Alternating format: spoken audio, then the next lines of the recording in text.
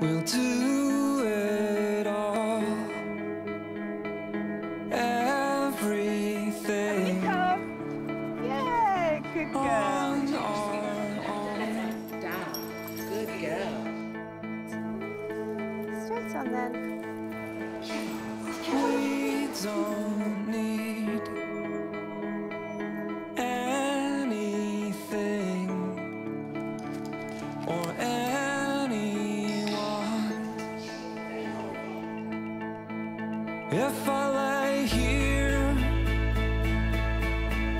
if I just lay here, would you lie with me and just forget the world? I've got a disease called muscular dystrophy. It means that I I haven't got enough strength in my legs to walk. Yogi Fetchit. I was depressed, uh, I was paranoid, and I was just angry all the time. So then, when we got the dog, he really helped us with, like, becoming myself again. So I'm, like, thankful for that. When I first met Yogi, I saw a difference straight away. For me, having Yogi around has just changed the whole dynamics of the house. He just brings happiness, sunshine, smiles, and laughter. Having the dog brought the Daniel we knew and loved back, and that's the one who gets up every morning with a smile on his face because he's got this big brown dog jumping on him, and it's like he's jumping on him and saying, Come on, let's go, up you get. he's the first person I see when I wake up.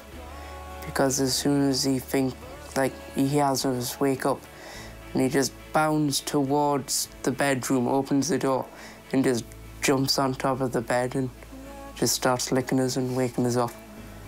Yogi picks things up for us and he opens doors, switches lights on, takes me socks off and takes the, uh, the sling off when I'm in my chair.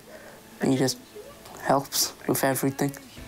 He just helped us see that life was wasn't rubbish when I thought it was. Yogi means everything to us.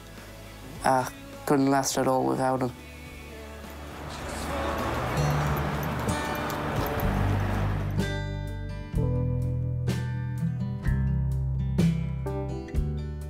My name's Andy, and uh, I've got a wonderful assistance dog called Henry. I've got an acquired physical disability, and in fact, that um, before I broke my neck, I was perfectly okay. Um, I was a fit young man. I was just about to be promoted to inspector in the Metropolitan Police. I had a young family. My whole life was sort of panning out nicely in front of me, and I had a trivial accident on a mountain bike, which involved me breaking my neck. And uh, I went in a second from being completely able-bodied to being completely paralysed from the neck down. And since I've had Henry, my assistance dog, he's made a huge difference to my life. He's given me back that lost independence. I mean, I'm still able to walk a little with my uh, spinal cord injury, but when I'm walking, the one arm that I can use, I have to use a, um, a crutch with it, and uh, I can't carry anything. So anything I need carrying around the house, Henry's very good at carrying that for me. Well done, Henry. He's able to put rubbish in and out of the kitchen bin. He can open all the drawers in the kitchen, so I don't have to do that. I can concentrate on just what I need to get out. And as I said, he opens and shuts all the doors. Henry opening doors for me means I'm not stuck in the house relying on someone else to open and shut doors. You know these? I was in reasonably late one night, uh, dark, sort of cold, wet, raining night, and I had a nasty fall on my kitchen floor. That was a couple of months ago. And Henry was there straight away. He's trained to get a phone off a cradle, and he went and got the phone straight away. And I was able to phone my sort of carer team up, and they were here to help me. And without him there to do that, I would have been stuck on the floor all night. He ultimately is my best friend, my best mate, and we do everything together. From the moment we get up to the moment I go to bed, Henry's there to sort of help me through the day.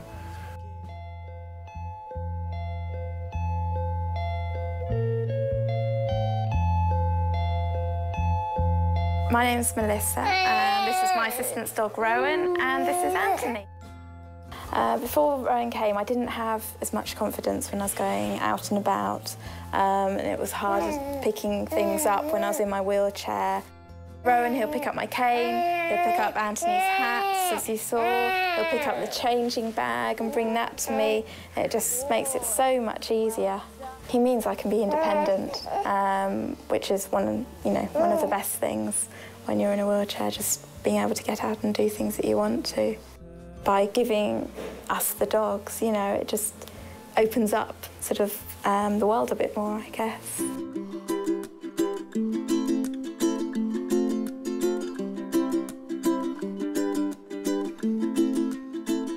William has special needs and uh, that involves um, him having severe learning difficulties and some traits of autism. So life before Percy was really quite demanding on us as a family. Quite a lot of our time would be spent sort of trying to keep William happy while we were out and about. William quite often will just run out onto a road or would just grab a stranger's hand and it, there was always a lot of issues around safety. Since we've had Percy, life has changed quite a lot. We're now able to go out and know that William's safe and uh, William's much calmer, so we're calmer and we can spend more attention on our youngest daughter, on our daughter Emily, and more attention on each other, so we don't have to be distracted and worried about William every five minutes because we know he's safe with Percy.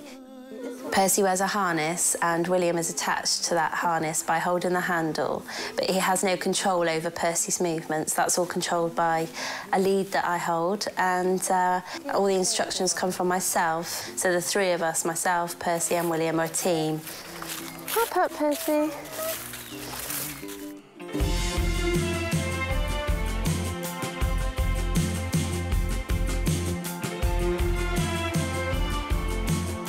Brilliant charity because it enables disabled people to have more independence, to feel as though you can get out and do things. Greater independence, I mean, that is our mission, that is our goal. That disabled people um, have a mutually beneficial relationship with their dog, a partnership with their dog. It will give them the confidence to go out and about, where often, you know, some, some disabled people maybe feel quite isolated and too worried to go out.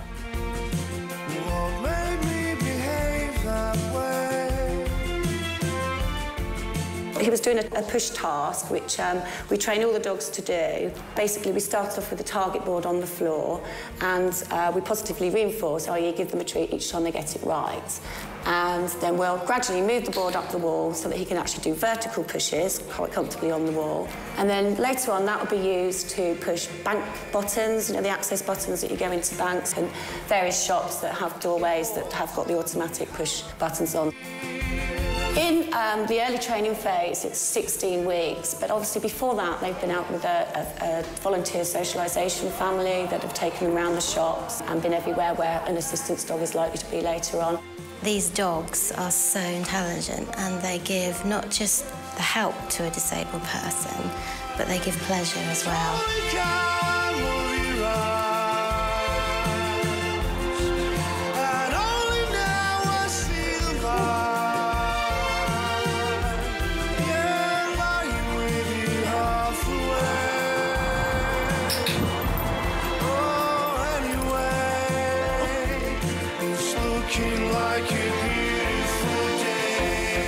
He gives me that confidence that I know that he's there by my side, wagging his tail with a willingness to please.